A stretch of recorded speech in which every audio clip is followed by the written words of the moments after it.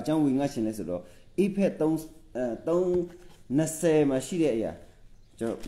ဖြစ်တယ် effect 320ကိုမှကျွန်တော်ဖတ်ပြချင်ပါတယ်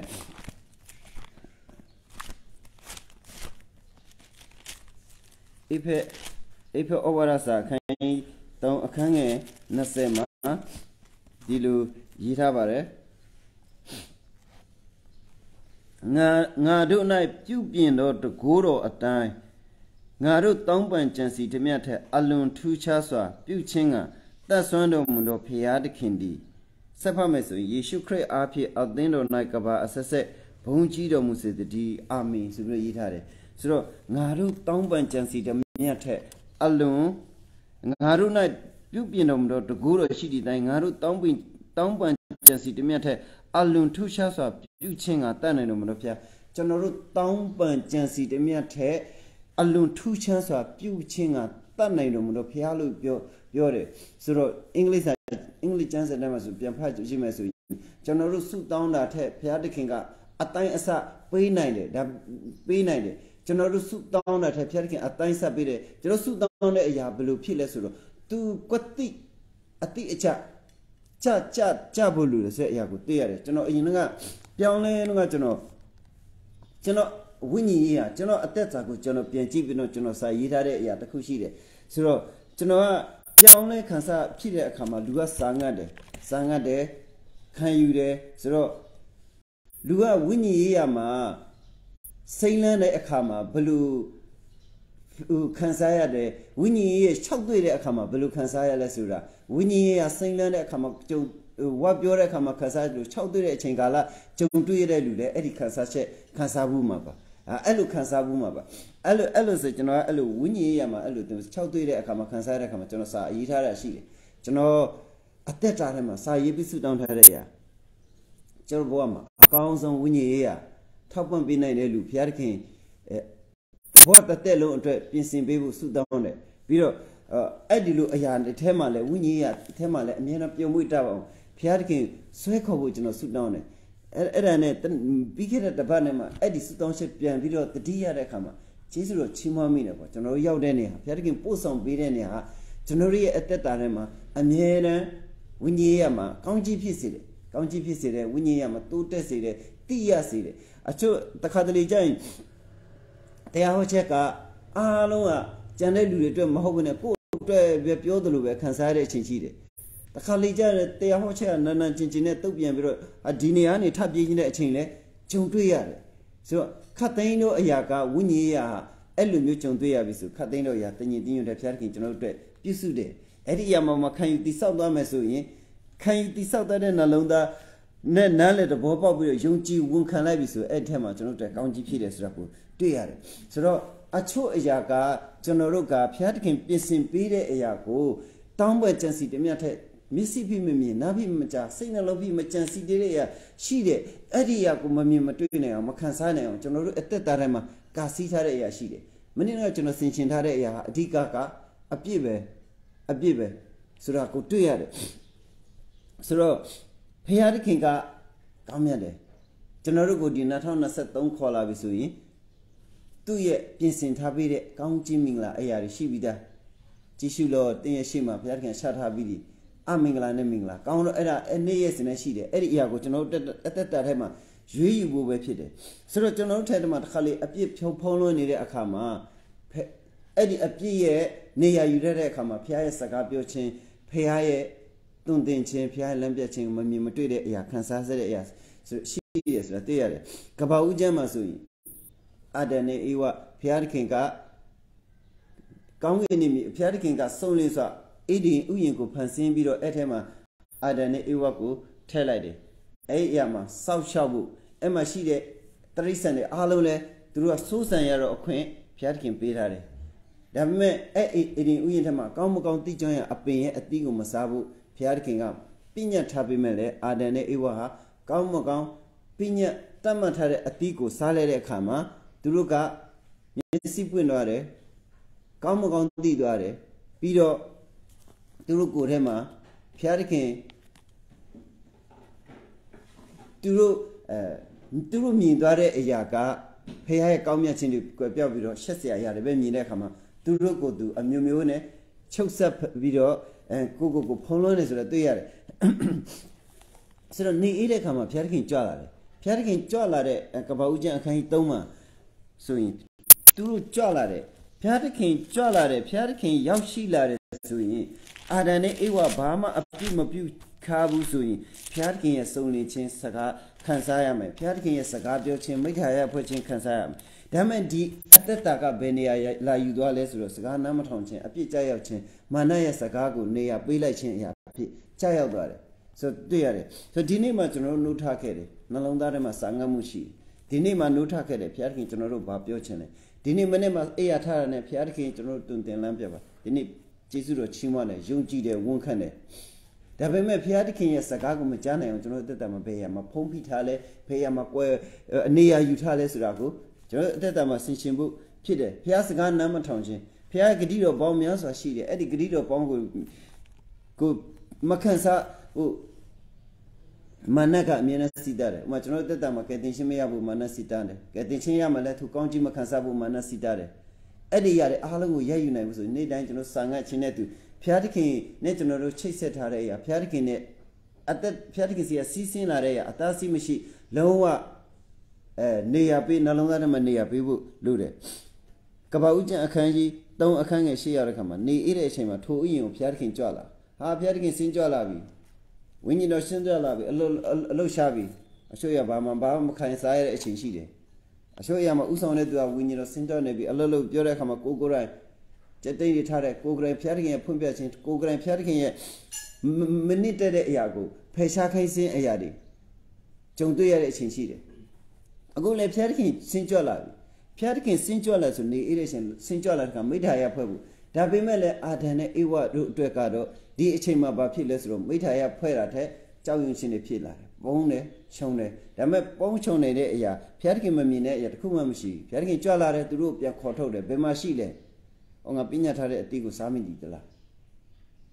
ဖရာသခင်ရဲ့မိထာယဖွဲ့ဖို့ဖရာသခင်ရဲ့ကောင်းကြီးဖရာသခင်ပြင်ဆင်ပေးတဲ့နေ့ရဲ့အချိန်နဲ့ပတ်သက်တဲ့ကောင်းကြီးမင်္ဂလာကိုခံစားရဖို့ထက်အရာအားလုံးဟာဖရာသခင်ရဲ့မေးမြန်းခြင်းတွေရောက်ရှိလာပြီအဲ့ဒီအချိန်မှာအာဒံနဲ့အေဝါဟာအပြစ်ကိုတစ်ခုပြီးတစ်ခုတစ်ခုပြီးလွဲချသွားတယ်အဲ့ဒီမှာကြင်ချင်းမင်္ဂလာခံရတယ် အေဒင်ဥယျင်ရဲ့ဖျားခင်ပြင်ဆင်ပေးတဲ့စုံနေတဲ့အေဒင်ဥယျင်ဟဲ့နေအပြင်ကိုရောက်သွားတယ်ဆိုတာတွေ့ရတယ်အဲ့ဒီရောက်သွားခြင်းကသူတို့အပြစ်ကြောင့်အဲ့ဒီအပြစ်ကလည်းတောင်းပန်နိုင်တဲ့အစွမ်းရှိရဲ့တန်းနဲ့ပြန်ပြီးမတောင်းပန်ဘူးသူတို့တွေ့ရတယ်ဒီနေ့မှလည်းဖျားခင်ကျွန်တော်တို့ပြင်ဆင်ပေးတဲ့သူရဲ့ကောင်းကြီးမင်္ဂလာအထက်မှာကျွန်တော်တို့အသက်ရှင်သွားလာတဲ့သူဖြစ်တယ်အဲအပြင်ကိုမရောက်စေချင်ဖို့ဖျားခင်ကောင်းကြီးပေးပါစေအဲ့ဒီအပြစ်နဲ့ပတ်သက်ရင် နောက်ထပ်အပြစ်နဲ့အပြစ်လုပ်ပြီးမိဆိုအပြစ်နဲ့ပတ်သက်တဲ့အမင်္ဂလာတွေအပြစ်နဲ့ပတ်သက်တဲ့အဖို့အခါတွေပေးဆက်ရလေးရောက်တဲ့အခါမှာကာအိနန်နဲ့အာဘီလအဲ့ဒီမှာလဲကိုးကွယ်ခြင်းနဲ့ပတ်သက်တဲ့အရာအပြစ်လုပ်တယ်ကိုးကွယ်ခြင်းနဲ့ပတ်သက်တဲ့အရာညီကိုနေရောက်သူ့အချိန်ရောက်တဲ့အခါမှာသူရှိတဲ့အရာနဲ့ဘုရားသခင်ရဲ့ရှိတော်ဝင်ခြင်းမှာတိုးဝင်တယ်ကိုစီလာချတယ်ကိုစီဖျားသခင်ပေးထားတဲ့အစွမ်းဆက်ရှိတဲ့တန်း ကိုစီဖျားသခင်ပေးထားတဲ့ရှိတဲ့တန်းကာအိနနဲ့အဘီလာရောက်လာတယ်အဘီလာအဘီလာကတိုးယူလာတယ်ကာအိနကသူ့စီမှာရှိတဲ့အကောင်းဆုံးအတီးအနာတွေကိုယူလာတယ်ပူဇော်တယ်ဖျားသခင်ကအဘီလာရဲ့ပူဇော်ခြင်းကိုလက်ခံပြီးတော့ကာအိနကိုညှင်းပယ်တယ်ကာအိနမျက်နှာအနေထားပြောင်းလဲသွားတယ်စိတ်ဆိုးတယ်စိတ်ဆိုးတာကိုဘုရားသခင်သိတယ်ဘုရားသခင်ကဘာပြောလဲ တင်ဘာလို့စိတ်ဆိုးလဲတင်တို့အကောင်ဆုံးရစ်ကောင်ကတကားဝမှာဝတ်နေလဲရှိတယ်အဲ့ဒီအရာကိုတင်ကထိုးအရာကိုအုပ်ဆိုးပြီးတော့ခေါ်လာရုံပဲပြီးပြစုဘုရားသခင်အလိုရှိတဲ့ပူဇော်ခြင်းတက်ကဘုရားသခင်အလိုရှိတဲ့ကိုးကွယ်ခြင်းဘုရားသခင်ကအာဘီလတ်ကိုအာကာအိနကိုတွန်းတင်တယ်ကာအိနကိုတွန်းတင်တယ်ဒါပေမဲ့ကာအိနကအဲ့ဒီအပေါ်မှာဘုရားသခင်ပြင်ဆင်ပေးတဲ့ဒီအ လန်းအပေါ်မှာလိုက်လျှောက်ပြီးတော့ဘုရားသခင်ပြင်ဆင်ပေးတဲ့ကောင်းကြီးမင်္ဂလာကိုခံစားရမှထက်ညီအဘိလကိုရန်ညူထားပြီးတော့လေထက်ခေါ်သွားတယ်တပ်ပလိုက်တယ်။ဘွာကျန်အခန်းကြီးအခန်းကြီး၄မှာတွေ့ရတယ်အခန်းကြီး၄အခန်းငယ်7စနစ်ကိုကျွန်တော်ဖတ်ပြချင်ပါတယ်7စနစ်ကိုထို့တို့ဖြစ်၍တင်းညီအတွေးကိုခံယူခြင်းကမိမိပါဇက်ကိုဖွင့်တော့မြေကြီးကျိန်ချင်းကိုတင်ဒီခံရတော့ကြောက်ယခုမှစ၍မြေ၌လို့တော့အရာဤပဂတိ အတိအနံကိုမရရကြမြေပေါ်ကထွက်တဲ့ကောင်းကြီးမင်္ဂလာလှုပ်ဆောင်တဲ့အတိုင်းမခံစားရတော့ဘုရားခင်ကအကာအိနာမေးတယ်မင်းညင်ပဲမှလဲ तू တက်ခဲ့တယ် तू သိတယ်ဒါပေမဲ့ငါညင်ကိုငါတက်မိပြီမှားတဲ့အရာကိုပြန်ပြီးတော့မတောင်းပန်ပဲနဲ့ဖုံးကွယ်ထားခဲ့တယ်ဖုံးကွယ်ထားခဲ့တယ်ဖုံးကွယ်ထားတဲ့အပေါ်မှာဘုရားခင်ကဖွင့်ချလိုက်တယ်ဘုရားခင်ရဲ့အရှိမဘာတစ်ခုမှဖုံးကွယ်ထားလို့မရအောင် ကအကိုင်းနဲ့မဖွင့်ချတဲ့အခါမှာဘုရားခင်ဖွင့်ချလိုက်တယ်ဖွင့်ချလိုက်ခြင်းနဲ့သူသူလှုပ်ဆောင်တဲ့ဖို့ခါနဲ့သူဘုရားခင်ကဘာလှုပ်လဲဆိုတော့သူကိုပြောလိုက်တယ်မြေမှာထွက်တဲ့မြေမှာလှုပ်တဲ့အတိုင်းမခံစားရပင်ပန်းစွာခံစားရမယ်အကျိုးနည်းတဲ့အရာကိုတွေ့ရတယ်ဆိုတော့အဲ့မှာဘာလို့ဘာဟိုတွေ့ရလဲဆိုတော့ဖះစကားနားမထောင်မနဲ့လိုက်လျှောက်ခြင်းအရာကလိုက်လျှောက်တဲ့အရာအတိုင်းတောင်းပန်ကြံစီတမျှထဲလှုပ်ဆောင်တမျှထဲမခံစားရတော့ဘူးဆိုတော့ကိုတွေ့ရတယ် အဲ့ဒါနဲ့ဆက်ဆက်ကြည့်မယ်ဆိုရင်ကျွန်တော်ဘုရုအကြောင်းကိုတတ်တတိရလဲဆိုရှောလူ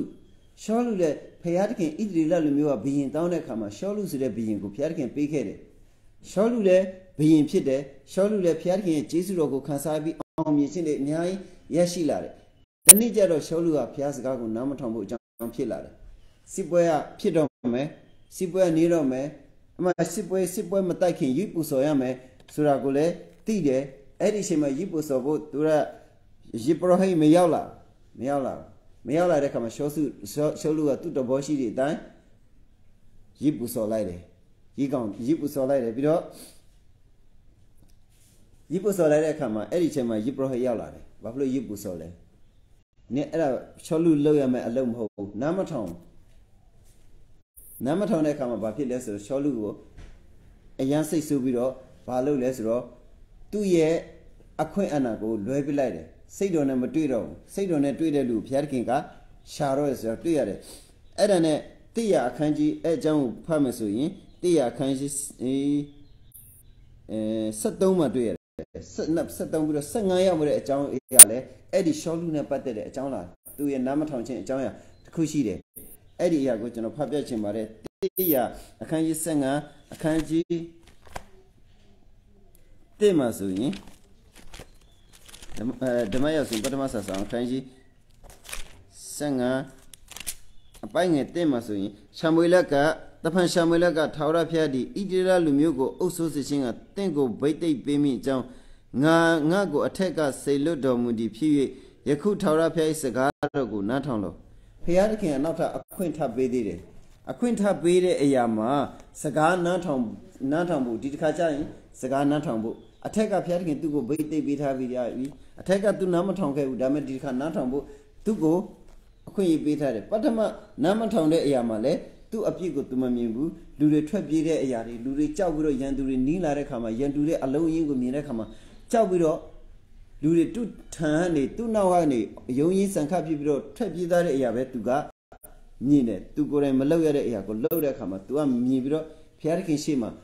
အဲ့ဒီဘုရားရဲ့ကောင်းကြီးမှုကစီးစင်းတဲ့အရာရှင်းလင်းဖို့ तू မရှင်းလင်းပြနိုင်ခဲ့ဘူးမရှင်းလင်းပြနိုင်ဘူးဒီတစ်ခါကျတော့ရန်သူကိုလုံးဝရှင်းရှင်းဖျက်ဆီးဖို့ဘုရားသခင်ကပြောတယ်အခန်းကြီး15အခန်းငယ်3ကျွန်တော်ဖတ်ပြချင်ပါတယ်ယခုသွား၍ထိုအမျိုးကိုလှုပ်ကြံလို့နှမျောရှင်းမရှိပဲရှင်းချင်းဖြက်စီး၍ယောက်ျားမိန်းမသူငယ်နှုတ်ဆုမှဆက်၍တိုးနွားကလာအုပ်မြင်းတို့ကိုတတ်လို့ ဖះရှင်းရှင်းဖြက်စီးခိုင်းတယ်ရှင်းရှင်းဖြက်စီးတဲ့ရှင်းရှင်းလို့ဖြက်စီးပြီးပြောရုံမကဘူးဖြက်စီးရမယ့်အမျိုးအစားဘယ်ဟာဘယ်ဟာဘယ်ဟာလဲဆိုအကုန်လုံးရှင်းရှင်းဖြက်စီးခိုင်းလိုက်တယ်ဒီရှင်းရှင်းဖြက်စီးလိုက်ရဲ့အကြောင်းကတစ်ချိန်လုံးကဣတိလလူမျိုးဘုရားသခင်ရဲ့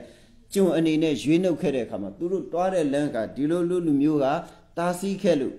သူတို့တွားတဲ့လမ်းကိုသူတို့တက်သွားတဲ့လမ်းသူတို့ဖြတ်သွားတဲ့လမ်းသူတို့ဘဝတက်လမ်းကိုကာစီးထားတဲ့အရာမျိုးဖြစ်ဖြစ် ဘုရားသခင်ကမကြိုက်ဘူးဒီအရာကိုဖြစ်စီခိုင်းတယ်ဒီရန်သူကိုဖြစ်ဖြစ်စီခိုင်းတယ်ရှောလူကဒါပေမဲ့ရှောလူကအဲ့ဒီတိုက်ပွဲကိုတွားတယ်ဖြစ်စီလားဆိုတော့လေတိုက်ပွဲကိုတိုက်တယ်အောင်လားဆိုတော့အောင်လေတိုက်ပွဲကဘုရားသခင်တိုက်ခိုင်းတဲ့အခါမှာအောင်ရတဲ့အခွင့်ကိုလည်းဘုရားသခင်ပေးတယ်အောင်တဲ့အခါမှာရှောလူကအောင်ချင်းအပေါ်မှာဖြက်စီးရတော့လုံးဝရှင်းရှင်းလင်းလင်းဖြက်စီးလိုက်တဲ့ခွန်အားအခွင့်လက်ဖျားသခင်ပေးထားတယ်အဲ့ဒီအရာမှာရှောလို့လုပ်လာဆိုတော့မလုပ်ဘူးဘယ်အရာကိုဖြက်စီးလဲဆိုတော့ ကိုးရောက်တဲ့အခါမှာ तू ကဘယ်အရာကိုဖြက်စီးလဲဆိုတော့တို့ရဒီရှောလိနဲ့လူများတို့ဒီအာဂတ်နဲ့တကွတိုးနွားအမျက်အလဆူတော်တိုးတငယ်မကောင်းသောဥစ္စာရှိတဲ့မြကောင်းသောဥစ္စာရှိသမျှတို့ကိုနှမျော၍ရှင်းရှင်းမဖြစ်စီကောင်းသောအရာရှိသမျှတို့ကိုသူ့ရဲ့အသက်တာထဲမှာမြင်ပြီးတော့ကောင်းသောအရာတကယ်တကယ်ကြတော့ဒီအရာကသူတို့ဣတရီလာလိုမျိုးကျွန်ဘဝကနေရင်းနှုတ်ထားတဲ့အခါမှာသူတို့ဘဝသူတို့ရှောက်ရမယ့်လမ်းကိုအဟန့်အတားအသားစီးဖြစ်နေတဲ့အရာ ဖြစ်တယ်ဆိုတာကိုသိတယ်သိတယ်ဒါပေမဲ့မဖြစ်စီမဖြစ်စီတဲ့အခါမှာတော့ဘယ်အရာကိုဖြစ်စီလဲဆိုအတုံးမဝင်ရုပ်မှာတော့ဥစ္စာရှိတဲ့ပြောင်းကိုသာရှင်းရှင်းဖြစ်စီတယ်သူဖြစ်စီလိုက်တဲ့အရာသူ့အတွက်အတုံးမဝင်အယုတ်အမှမကောင်းတဲ့အရာအဆုပ်အပြည့်တွေလောက်ပဲဖြစ်စီတယ်ဒီအရာသူ့ရဲ့အသက်ကောင်းတယ်ဒီအဖះပူစော်ဖို့တောင်သူပြောထားသေးတယ် ဆိုအဲ့ဒီအရာမှာကျွန်တော်ဗာပြောလဲဆိုဗာပြောရှင်လဲဆိုကျွန်တော်တို့ဘဝဖះကျွန်ဘဝကဲတင်ရှင်းပေးထားပြီကျွန်တော်တက်လန်းရမယ်တက်လန်းရမယ်ဘဝဖះတခင်ကတဆင့်ပြီးတဆင့်ကျွန်တော်တို့ကိုဆွဲခေါ်တယ်အဲ့ဒီဆွဲခေါ်ထားတဲ့အရာမှာတာစီဟန်တာနေတဲ့အရာရှိတယ်အဲ့ဒီအရာပေါ်မှာဖះတခင်ကဒီအတိုင်းပဲကြည့်မနေဘူးဖြစ်စည်းရမယ့်အချိန်ဖြစ်စည်းရမယ့်အောင်မြင်ခြင်းခွန်အားအချိန်ဖျားသခင်ပေးထားတယ်အဲ့ဒီအချိန်ရောက်ရင်လုံးလုံးဖြည့်ဆည်းဖို့အလိုရှိတယ်အရှောလူကဖြည့်ဆည်းလားဆိုတော့ မဖြည့်ဆည်းဘူးဒါဒါဒါနဲ့နည်းနည်းရောက်တဲ့အခါမှာရှာမွေလာသူ့စီလာတယ်လာတယ်ဖြည့်ဆည်းပြီးပြီလားဖြည့်ဆည်းပြီးသွားပြီအဲ့လိုဆိုရင်ငါကြားလိုက်အနောက်ကငါကြားလိုက်တဲ့တိုးအော်တန်တွေကနွားနေတိုးတွေအော်တန်တွေကအတန်တွေကဘယ်ဟာအတန်လဲဆိုပြီးတော့ရှောလူမေးတယ်အဲ့ဒီရှာမွေလာမေးတယ်ကျွန်တော်ပြောချင်တာကဖျားတခင်စီခိုင်းတဲ့အရာကိုနားထောင်တယ်ဖျားတခင်စီခိုင်းပြီဆိုရင် စီခိုင်းခြင်းအပေါ်မှာလှုပ်ဆောင်ခိုင်းပြီးနောင်တရပါဒီချိန်ကိုဒီအရာကိုစွန့်ပြစ်လိုက်တော့ဒီအရာကိုထားခဲ့လိုက်တော့ဆိုတဲ့အရာထားခဲ့ရင်ကျွန်တော်တို့အသက်တာထဲမှာဆနအေဖက်320လို့တောင်းပန်ကြံစီတမြတ်ထက်တာ၍ထူးခြားတဲ့အရာကိုခံစားရမယ့်အရာဖြစ်တယ်ကျွန်တော်ချမ်းဆုံးအဲ့ညံကစဉ်းစားဆင်ခြင်နဲ့တော်တော်လေးခေါင်းထဲဝင်လဲခြံဆောင်ဆိုလဲအဲ့လိုပဲစပင်း မဖျက်ဘူးသူကနတ်စရီလူဖြစ်တယ်စပင်းရင်မတောက်တော့ဘူးအသေးကောင်မထိရဘူးနတ်စရီတစ္ဆာရှိတဲ့သူဖြစ်တယ်စပင်းမဖျက်ရဘူးဖျက်စကားနားထောင်မှုရှိတယ်ဒါပေမဲ့တစ်ချိန်ကျတော့သူကစပင်းဒီလီလာကြောင့်စပင်းဖြတ်လိုက်ရတယ်စပင်းဖြတ်လိုက်ရဖျက်စကားနားမထောင်တဲ့အခါမှာသူ့ရှိတယ်မရှိတဲ့အာအင်းနေအကုန်လုံးရုပ်ရော့ခဲ့တယ်စပင်မဖြတ်တလေနားထောင်သူရဲ့အရာအားလုံးကိုအားအင်းနဲ့ရင်ဆိုင်ကြော်လာရတော့အခွင့်ရှိတယ်ဖြတ်လိုက်တဲ့နေ့မှာ ရန်သူတွေရဲ့ဖန်ခြင်းမျက်စိဖောက်ခြင်းကိုခံရလေအဲ့ဒီခါမှာကျွန်တော်တစ်ခုခွန်အားရလာတာဟာရှန်ဆောင်ကအဲတရားသူကြီးမဆာအခန်းကြီး16အခန်းငယ်28မှာရှိတဲ့အရာတရားသူကြီးမဆာအခန်းကြီး16အခန်းငယ်78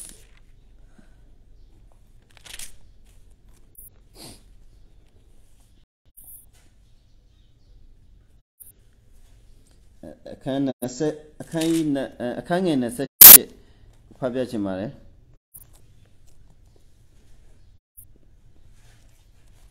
အခန်း sorry ကျွန်တော်ချက်ကြည့်လိုက်မယ်အခန်းကြီး20နှစ်ပါအခန်းကြီး20နှစ်အဲအဲ့ဒီမှာတကြတစ်ချက်သဘောကျတဲ့အရာရှိတယ်သူစပင်ဖြတ်လိုက်ပြီးမျက်စိအဖောက်ခံရပြီးသူအာအင်တွေအကုန်ပြုတ်ပြီးရန်သူတွေသူ့ဖမ်းထားတဲ့ရန်သူပြုတ်သူများသူကအဲခံနေရတဲ့အချိန်22ရက် တဲ့အခါမှာရှမ်းစုံဒီစပင်ရှမ်းစုံစပင်ရိတ်တော်နောက်တဖန်စပင်ပေါက်တော်အခါရှမ်းဆောင်စပင်ပြန်ပြီးပေါက်တယ်ပြောချင်တာကတော့ဖျားသခင်ကဒီအရာပေါ်မှာပြန်ပြီးအခွင့်ပေးတယ်ရှမ်းဆောင်ကိုပြန်ပြီးတော့အခွင့်ပေးတယ်ဆုံးချုံသွားတယ်လဲကျသွားတယ်ရန်သူလက်ထက်မှာပြန်ပြီးဂျုံထွက်နိုင်အောင်တစ္ဆာပြုတ်ခဲ့တဲ့အရာရှိတယ်နတ်စရီလူအဲ့ဒီချက်မှာအဲ့နတ်စရီလူရဲ့တစ္ဆာကိုပြတ်သွားတယ်စပင်မရိပ်ရဘူးစပင်ရိပ်ပလိုက်တယ် အာအင်းကြီးရော့သွားတယ်နားမထောင်တဲ့အခါမှာဘုရားသခင်ဝိညာဉ်တော်သူ့ထက်က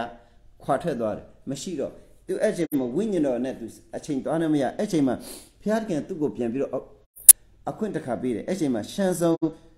20နှစ်မှဆို16 20နှစ်မှဆိုရှန်စုံစပင်ရိတ်တဲ့နောက်တဖန်စပင်ပြန်ပေါက်လာတဲ့အခါဘုရားတစ်ခါပြန်ပြီးတော့အခွင့်ပေးတဲ့အချာရှိတယ်အဲ့ဒီအချိန်မှာချန်ဆောင်ကဘာဖြစ်လဲဆိုနောင်တရတယ်ဆိုတော့တွေ့ရတယ်28 28ရောက်တဲ့အခါမှာရှန်ဆုံကလည်းအိုးအရှင်ထာဝရဘုရားသူဘုရားခင်ကိုနောင်တနှလုံးသားနဲ့သူဆုတောင်းပြီ။အိုးအရှင်ထာဝရဘုရားအကျွန်ုပ်ကိုအောင်းမိတော်မူပါ။အကျွန်ုပ်၏မျက်စိနှစ်ဖက်ကိုဖောက်တော်ဖလိတိလူတို့နာတပြိုင်တည်းအပြစ်ဒဏ်ပေးရမည်ကြောင်းယခုတစ်ချိန်မြတ်တာခွန်အားပေးတော်ပါဟုထာဝရဘုရားခင်အားဆုတောင်း၏။မျက်စိဖောက်ခံရတယ်သူဘာမှမမြင်ရဘူးမျက်စိဖောက်သူ့ရဲ့အနာကမမြင်ရဘူးရန်သူတွေလည်းမမြင်ရတော့ဘူးခွန်အားလည်းမရှိတော့ဘူးအရာရာအားလုံးဆုံးရှုံးတယ် ဒါပေမဲ့ဖျားခင်သူ့ကိုပြန်ပြီးအခွင့်အရေးပေးလိုက်တဲ့အခါမှာအဲ့ဒီအာအီနဲ့သူကဘာပြန်လုပ်လဲဆိုဖျားခင်စီမှာပြန်ပြီးတော့တိုးဝင်တယ်ဆုတောင်းတယ်ဆုတောင်းတဲ့အခါမှာဖျားခင်ကသူ့ကိုဘာလုပ်ပေးလဲဆိုတော့ခွန်အားပြန်ပေးတယ်ခွန်အားပြန်ပေးတယ်အဲ့ဒီခွန်အားနဲ့သူသူတိုက်ပွဲပြန်ဝင်တဲ့အခါမှာဇေယျတင်တစ်ခုကိုသူပြန်ပြီးတော့ထိုးလဲအားလုံးကတိပြီးသွားပါပြီဒီအကြောင်းသူတွန်းလဲတဲ့အခါမှာအရင်ရှိတဲ့ခွန်အားတဲ့ အရင်မျက်စိရှင်ပြီးတော့အသက်ရှင်တဲ့မျက်စိမြင်ပြီးတော့အသက်ရှင်တဲ့အချိန်ထက်ဒီအချိန်ကပို့ပြီးတော့အောင်မြင်ခြင်းအစွမ်းကိုပြန်ရတယ်ဆိုတော့တွေ့ရတယ်ဆိုကျွန်တော်တို့အသက်တာထဲမှာကျွန်တော်နားမခံလိုက်မလျှောက်တဲ့အရာကျွန်တော်ရိတ်သိမ်းမဲ့အရာအများကြီးရှိတယ်ပြင်မဲ့လေဖျားသခင်ကအခွင့်အရေးပေးထားတဲ့အရာရှိတယ် အဲ့ဒီအခွင့်အရေးပေးထားတဲ့နေရာမှာအဲ့ဒီခွန်အားနဲ့သူကျွန်တော်တို့ကနောင်တနှလုံးသားနဲ့အဲ့ဒီခွန်အားနဲ့သူကျွန်တော်ဆက်သွားမယ်ဆိုအောင်မြင်ခြင်းရှိတယ်ရှောလူလည်းဖျားခင်နောက်ထပ်ခွန်အားပေးတယ်နော်ဆက်ဆက်ရှင်းတစ်ခုမှသူနားမထောင်တိုက်ပွဲမှာရိမပူဆိုရိပရောဟိတ်တွေသာလောက်ရမယ့်အလုပ်ကိုသူကလှုပ်လိုက်တဲ့အခါမှာဖျားခင်နောက်ထပ်အခွင့်အရေးတစ်ခုပေးတယ်နောက်ထပ်အခွင့်အရေးရှင်းရှင်းဖြတ်စီဖို့အခွင့်အရေးတစ်ခုပေးထားတယ်ဒါပေမဲ့အဲ့ဒီအခွင့်အရေးမပေးတဲ့အခါမှာဖျားခင်ကအဲဒီအကြောင်းကိုကျွန်တော် ဟိုကြားဘူးတယ်ဆရာနှစ်ယောက်ဟောတာဒီရှန်ဆုံရှန်ဆုံအာဒီရှောလူရှောလူကသူကနားမထောင်တဲ့အခါမှာဘုရားသခင်ကအဲ့ချိန်မှာဒါဝိဒ်ကမမွေးသေးဘူးဒါဝိဒ်ကိုဘုရားသခင်ကမွေးစေတယ်ဖြစ်ပေါ်စေတယ်ဆိုတဲ့လူဆိုတဲ့အရာကိုတွေ့ရတယ်ဆိုတော့ကဘာဥကဆနားမထောင်ခဲ့တဲ့အကျိုးအရာအားလုံးကရိတ်သိမ်းခဲ့တယ်နားမထောင်ခြင်းအရာအားလုံးကအေဒင်ရဲ့ အေဒင်ဥယျာဉ်ရဲ့အပြင်ကိုရောက်ခဲ့တယ်နားမထောင်ခဲ့တဲ့ကအာဘီလနဲ့ကာအင်းနဲ့အရာအားလုံးကဘယ်ကိုရောက်သွားလဲဆိုတော့မြည်တမလှုပ်လှုပ်တမအရာအားလုံးအကျိုးပြည့်မခံစားရဘူးအဲ့ဒီနားမထောင်ခြင်းအရာအားလုံးကဘယ်သူကပြန်လို့နန်းထောင်ပေးရလဲဆိုတော့သခင်ယေရှုပြန်ပြီးနန်းထောင်ပေးရတယ်အာဒန်နဲ့အေဝါနားမထောင်ပဲလှုပ်တဲ့အရာအားလုံးကိုကျမ်းစာထဲမှာဗာပြောလဲဆိုတော့ယေရှုကသူနားထောင်ခြင်းအဖြစ်အဲ့ဒီအရာအားလုံးကိုပြန်ယူပေးရတယ်ဆိုတော့အာဒန်အေဝါ ဟန်နေဆက်ပြီးတော့ကြိမ်ချင်းကြက်ရောက်ခဲ့တဲ့အရာအားလုံးကိုယေရှုကကားတိုင်းပေါ်မှာကျွန်တော်တို့အတွက်အသေးခံပေးခဲ့တယ်ဆိုတာကိုသိရတယ်ဒါဝိဒ်ဒါဝိဒ်အကြောင်းမပြောခင်သခင်ယေရှုအကြောင်းကိုကျွန်တော်အဲပြောပြောပြောချင်ပါတယ်ဆိုတမန်အဲကျွန်တော်အရင်နှစ်တက်တဲ့ခွန်အားကျမ်းချက်တစ်ခုဖြစ်တယ်ပေါ့တမန်တော်ဝတ္ထုအခန်း73အခန်းငယ်39မှာဆိုရင်ဒီလိုရေးထားတယ်တမန်တော်ဝတ္ထု အဲ့ဒါတော့သခင်ယေရှုကကျွန်တော်တို့အတွက်အလုတ်ဆောင်ပေးခဲ့တဲ့အရာကိုရည်ထားတဲ့အရာဖြစ်တယ်ဆိုတော့တမန်တော်ဝတ္ထုအခန်း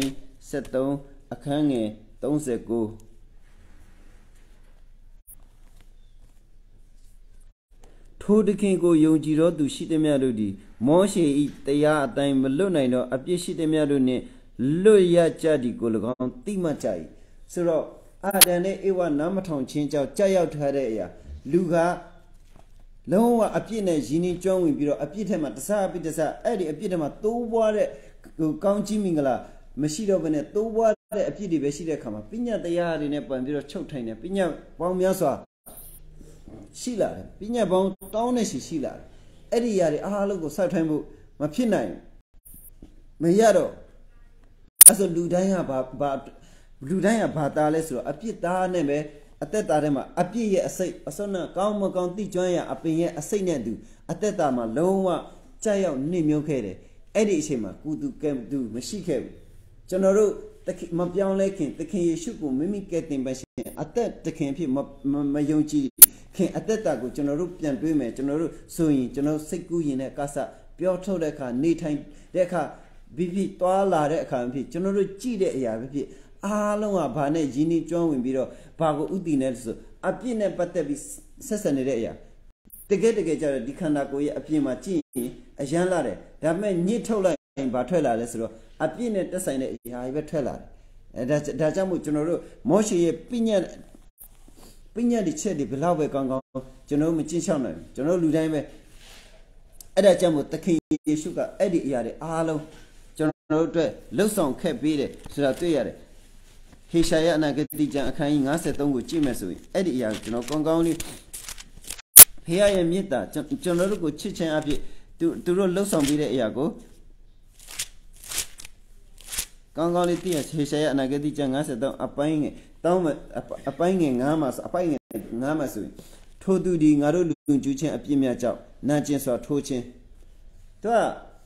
အဲ့ဒီအပြစ်ရဲ့အခက်ရဲ့ပေးဆက်ခြင်းအရာက နာကျင်စွာထိုးထိုးတာရဲ့ခံရတယ်နှိပ်စက်တာလည်းခံရတယ်အပြစ်ကြောင့်မငြိမ်မသက်မှုဖြစ်စေတဲ့အရာအားလုံးကိုသူကယေရှုဖျားကလက်ဝါးကနိုင်ပေါ်မှာလှုပ်ဆောင်ပေးခဲ့တယ်ယူဆောင်ပေးခဲ့တယ်ယာရယာရှိပေးခဲ့တယ်ကြင်ချင်းအားလုံးကိုသူကိုစားခံပေးခဲ့တယ်ဆိုတာသိရတယ်ဒါကြောင့်မို့ကျွန်တော်တို့မျိုးစစ်နဲ့ပတ်သက်တဲ့ကြင်ချင်းလည်းရှိတဲ့အရာအားလုံးလည်းဖြတ်တောက်ပေးခဲ့တယ်သခင်ယေရှုကိုယုံကြည်ပြီးတဲ့အရာ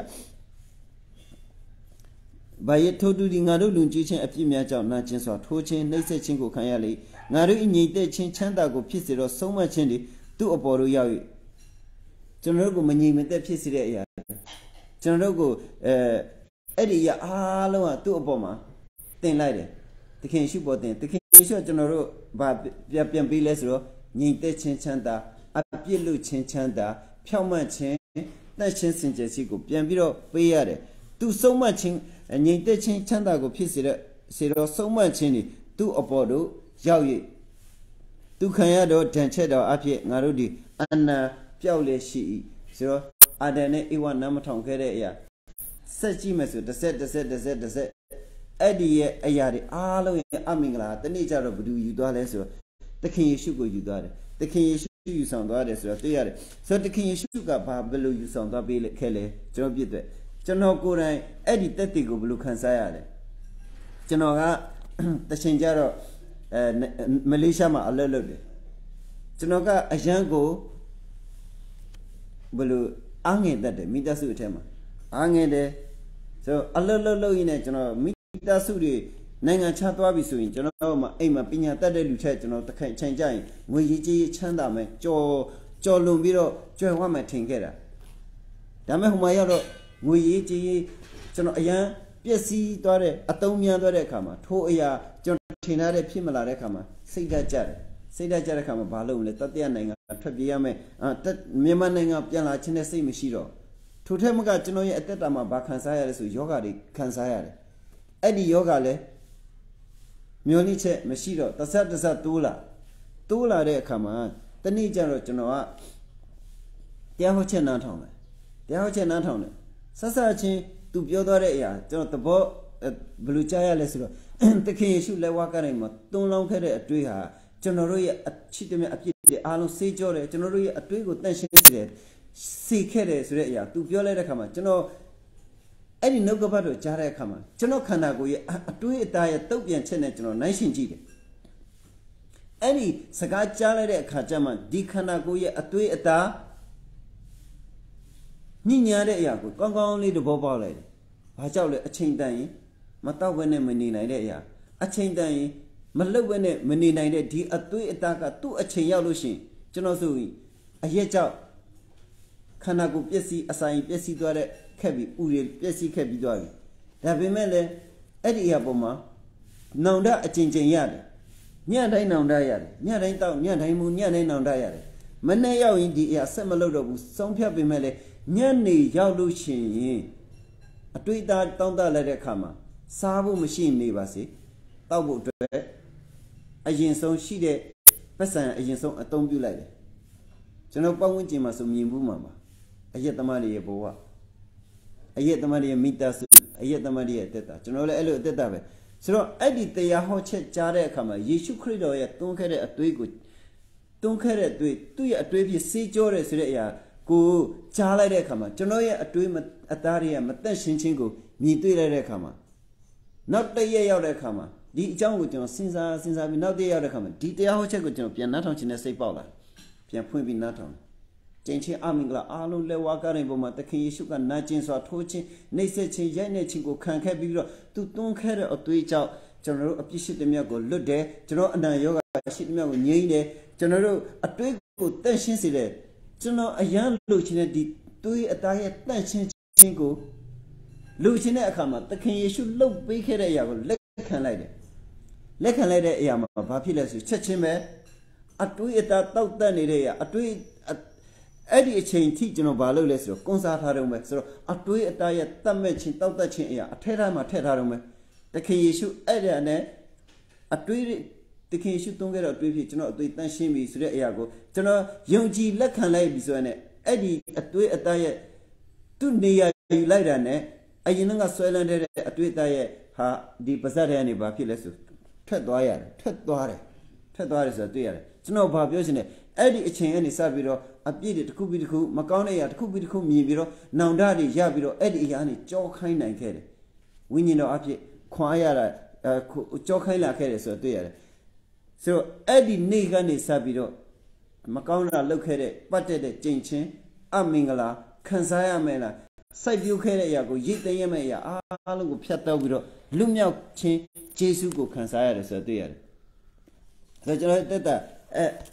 အဲ့လိုမျိုးယေရှုရတဲ့ခါမှာကျွန်တော်တက်တာထဲမှာဘာရှိလာလဲဆိုတော့ဝိညာဉ်တော်အဖြစ်တစိတ်ခတ်ခြင်းကိုခံစားရတယ်။အဲ့ဒီဝိညာဉ်တော်အဖြစ်ဆုတောင်းတဲ့အဲ့ဝိညာဉ်တော်အဖြစ်တောင်းပန်ကြံစီတဲ့မြတ်ထက်ထူးခြားတဲ့အရာကိုဘုရားသခင် ပြင်ဆင်ပေးလာတယ်ဆိုတော့ကိုတွေ့ရတယ်ဆိုကျွန်တော်တို့အသက်တာထဲမှာတောင်းပန်ကြံစီတဲ့မြတ်ထက်တတ်ဆွမ်းတဲ့ဖရာရှိတဲ့အရာကိုကျွန်တော်တို့ကရယူနိုင်ဖို့ဆိုရင်ကျွန်တော်တို့အသက်တာပါပတ်ပတ်အဆုံးအပြစ်လွတ်ခြင်းနောင်တဂျေစုမင်္ဂလာကိုကျွန်တော်ခံစားရဖို့လိုတယ်ဝိညာဉ်တော်ရဲ့အုပ်ဆိုးခြင်းအဖြစ်ကျွန်တော်တို့တွားဖို့လိုတယ်ဆိုတော့သိရတယ်ဝိညာဉ်တော်အုပ်ဆိုးခြင်းဝိညာဉ်တော်ရောက်ရှိလာပြီဆိုကျွန်တော်အသက်တာထဲမှာဘုရားသခင်အလိုမရှိတဲ့အရာမနစ်သက်တဲ့အရာအများနဲ့ဖယ်ရှားပြီးပြီးတော့ဖရာရဲ့ကောင်း ဖရာကျွန်တော်တို့အသက်တာနဲ့လမ်းပြပြီးတော့တာဝန်ယူပေးတဲ့အရာဆိုတော့တာဝန်ယူပေးသွားတယ်ဆိုတာကိုသိရတယ်ဆိုကျွန်တော်တို့တက်တာတွေမှာဘာရှိလဲကျွန်တော်တို့တက်တာမှာဝိညာဉ်ရှိပြီဆိုရင်ဘာရှိလာမလဲတောင်းပန်ကြံစီတမျှထက်တာရီကောင်းတဲ့အရာရရှိနိုင်တဲ့အခွင့်အရေးကိုရရှိပြီရရှိပြီဆိုတော့အဲ့ဒီအခွင့်အရေးအတွက်ကျွန်တော်တို့အသက်တာထဲမှာဝိညာဉ်ရဲ့လမ်းပြခြင်းကိုဝိညာဉ်ရဲ့ဥဆောင်ခြင်းဝိညာဉ်ရဲ့ပို့ဆောင်ခြင်းအဖြစ် အသက်ရှင်ဖို့ပဲလုပ်ပါတယ်အစောနာအာဒံနဲ့အေဝါတို့လူနာမထောင်ခြင်းရဲ့ကြာကြာရောက်ခဲ့တဲ့ကျင့်ခြင်းအမင်္ဂလာပညာတရားတွေချုပ်ဖဲခဲ့တဲ့အရာအားလုံးကိုယေရှုခရစ်ကအမှုပြီးစီးပြီးတော့ကျင့်ခြင်းအရာအားလုံးသူချုပ်ဖျက်ပြီးတော့ကျွန်တော်မင်္ဂလာကျွန်တော်ဆိုရင်ကဲတင်ခြင်းဆိုတဲ့ဖြောင်းမခြင်းကိုရရှိအောင်မကဘူးအစနကျွန်တော်နေဥစားစိုးမိုက်ခဲ့တဲ့မကောင်းခဲ့တဲ့အရာအားလုံးအနာယောဂအားလုံးလည်းဖျားခင်ကပျောက်ကင်း ချမ်းမာရတော့အခွင့်ရှိနေသူဒီနေ့မှာသူ့ရဲ့ဝမ်းမြောက်ခြင်းထဲမှာတည်စေပြီးတော့အသက်ရှင်နိုင်တဲ့အခွင့်ကိုရရှိခံစားရတယ်ဆိုတော့တွေ့ရတယ်။ဘုရားခင်ပြင်ဆင်ပေးတဲ့အရာကအရာကောင်းတယ်။ဒီ2023မှာလည်းဘုရားခင်ပြင်ဆင်ပေးတဲ့ကောင်းမြတ်တဲ့အရာကျွန်တော်တို့မှရှိတယ်။အဲ့ဒီအရာနဲ့သူကျွန်တော်တောင်းပန်တယ်ဆိုရင်အလိုတော်နဲ့ညီကွက်တိချက်ဖို့ဝိညာဉ်တော်မဆမယ်။တောင်းပန်လိုက်တဲ့အထက်တားထူးခြားတဲ့အရာရောက်ရှိလာမယ်။စဉ်းစားကြည့်ပါဦး။ ကျွန်တော်တို့တကားတစ်ချက်ပဲဖွင့်တယ်။အဲ့ဒီတကားထဲမှာဟိုဂိမ်းစော့တယ်လို့ပဲ။တကားလေးဖွင့်လိုက်တယ်။အဲ့ဒီတကားထဲမှာဘာမှအရှို့အရာတွေကဘာမှမရှိဘူးဘာမှကြမလာဘူးအရှို့အလားမထင်မြတ်မနဲ့ဆွဲဖွင့်လိုက်ရတဲ့ရှိသမျှအရာတွေအားလုံးကဒင်းဒင်းဒင်းဒင်းဆိုကြာရောက်ပြီးတော့လှုပ်ရှင်သမျှအရာရမှတ်တွေအပြည့်ရရှိခံစားသွားတယ်အဲ့လိုပဲတောင်းမဲ့ကြံစီသမျှထက်တောင်းလိုက်တဲ့အရာထက်ဘုရားသခင်ရဲ့အကြံစီအားလုံးကကြာရောက်ပြီးတော့လှုပ်ဆောင်နိုင်ဖို့ကြာရောက်ပြီးတော့ရပ်တည်နိုင်ဖို့ကျွန်တော်တို့အသက်တာမှာ ဝိညာဉ်တော်အဖြစ်အစင်သိရှိဖို့ဖြစ်တယ်ဆိုတော့ကိုနေအနေငယ်တက်တက်ခိုင်နဲ့ဝင်ငါပါတယ်ဖျက်ခင်နာမတာကြီးဘုန်းကြီးပါစေ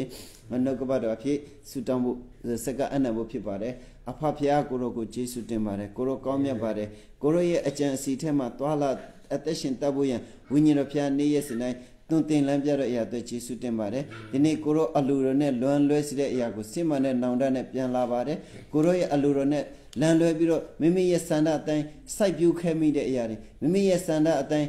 ဟိုတိဆောက်မိတဲ့အရာတွေအဲအရာတွေကစစ်မှန်တော့ငြိမ်သက်ခြင်းဝမ်းမြောက်ခြင်းကိုမရရှိတဲ့အပြင်တောင်းပန်တန်စီတမျှထက်ကိုလွဲစေတဲ့အရာရှိခဲ့ရင်ခွင့်လွှတ်တော်မှာ